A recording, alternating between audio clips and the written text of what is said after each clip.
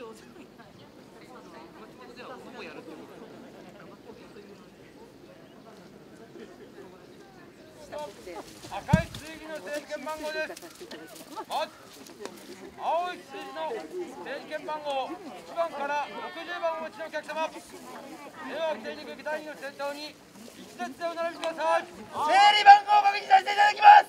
1、2、3、4、5、6、7、8、9。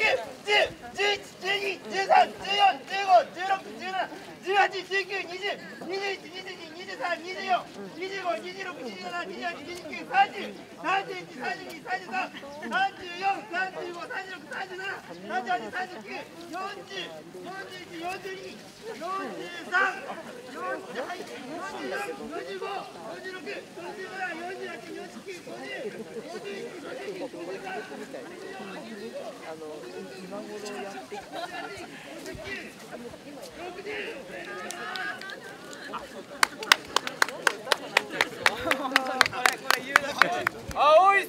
整理券番号61番以降をお持ちのお客様、こちらから番号順に一列でお並びください。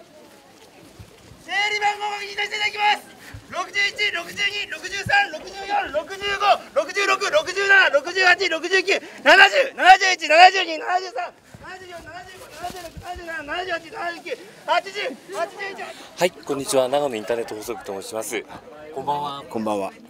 えーと今長野県はここはふれあい広場に来てますね。はい。はい。そこで今金組の、えー、公演が終わりました。はい。そこの監督をされています久保井さんに来ていただきました。はい。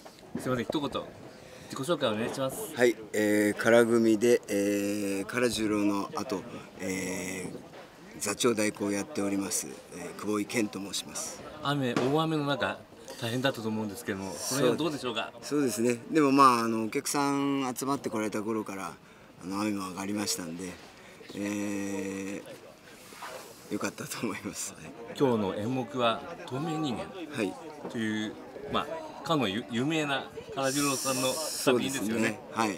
その辺はどうなんでしょうか？えー、もうこれ再演されて6回目になりますかね、えー、私が初めて、えー、演出をするように、えー、からからあの指示を受けた作品でもありまして、なるほど。えー、とても思い入れの深い作品です。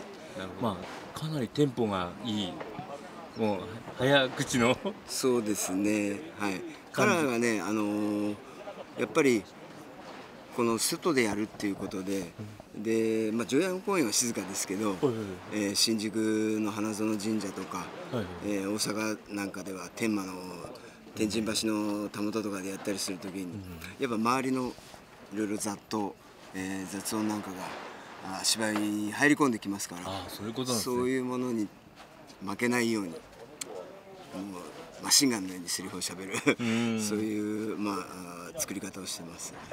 そそれぞれこう、まあ、出演する中で、はい。い、ろんな問題が出てくるじゃないかなって思ったんですけど。そうですね。まあでもあの稽古はね、えーほぼ2月ぐらいはじっくりやりますんで、はい。そういうことも想定して、えーまあ巷の中にこのテントの、えー幕一枚ですけど、えー切り取って劇空間を作るっていうそういうことを想定して作ってますので、えーまあ、お客さんが中に入ってしまうとその辺気にならないんじゃないかなっていうふうに思いますけど。巷の経済学っていうことで、はい、はい。なんか一言書いてありますけど、はい。その辺はどうでしょうか？えーこの本が書かれたのはですね、えー1992年ですかね、えーまだ今のように、あのー海外から働きに来られる方がまだあーそんなにいる時代ではなくて、まあ、どちらかというと不法に滞在してそれで、えー働いてらっしゃる方があの社会的な問題になってたようなそういう頃でしたんで、まあ、そういう海外から来た、えー特にこれは中国ってことに設定はなってますけどあそうなんですね。中国から来た、えー女性が、えーどういうふうに生き延びていくのか、うんそういうようなことをまあ想定して書いてますね。で今やもう本当海外の労働者の方がいないと日本の経済回らないようなところがありますけど、はいえーそういうようなことをまあ先取りして書いていたっていうふうに、今でもそういう問題と、あのーまあ、直面している決して古くなってない、そういうことがテーマになっていると思います。そしてまあコロナ禍ではい。結構まあ中止とかいうこともあったと思うんですけども、ましたね、はい、3年前は、えーまあ、驚くべきことに日本全国でそういう催し物が全部、えーなくなるっていうようなこともありましたし、えーそれをきっかけになかなか芝居にお客様が入らないっていうそういうような時期もありました、まあ、やっと戻ってきたのかなっていうことはあの感じてます。はい。っていうか金組っていうのはそもそもなそうなんかどっかの大学のサークルともなんか関連するんですまあ、唐さんはですね、はい。明治大学なんですけど、はい。その後状況劇場っていうのを作りまして、えーそれが、えー1989年ですかね、はい。えーまあ事情がありまして、えー、唐組というのに改名してで我々はそのその時新調したこのテントでずっと今続けてるんですけど。なんか横浜国大とかそういうのの横浜国大からあの入ってきた人間もいますし、たまたま多かったってことですか？そうですね、まあ、カラが、えーしばらく横浜国大の教授やってましたので、なるほどはい、じゃあ演劇指導みたいなのされてたんですかね？そうですね、えーえー6年かな、やってましたね、でその後僕も8年やりまして、それでまあ結構そういう時の縁があるわけですね。その時の学生だったのもいますし、まあ、基本的にはそういう大どっかの大学を中心にっていうことではないですけど。はい。今後の目標はどうでしょうか？そうですね。これからまあ僕もそれなりにいい年になりましたんで、おいくつなんですか？僕は今ねあの還暦です。